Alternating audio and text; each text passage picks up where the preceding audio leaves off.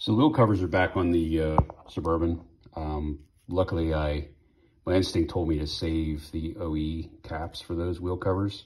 As you can see, they're a little gray, um, obviously being over 30 years old, but they are intact. They're one piece and they're in really good condition considering.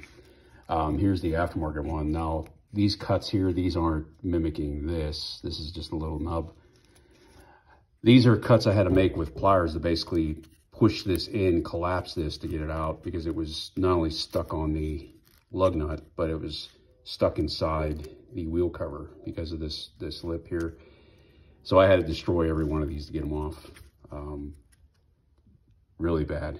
Uh, like I said, if you were stuck on the side of the road, you'd never get that wheel cover off. You'd have to destroy it, which would be a shame because uh, the OE covers were definitely shot. Um, the plastic chrome was gone. So even though the aftermarket ones are not as high quality. They still look better than what the OE ones were. But I'm lucky I saved these here because these are the factory. You can see it says remove in very small print there. But as always, um, keep your OE parts uh, if you think they're worth salvaging, um, just because a lot of this aftermarket stuff's really just no bueno. Thanks for watching.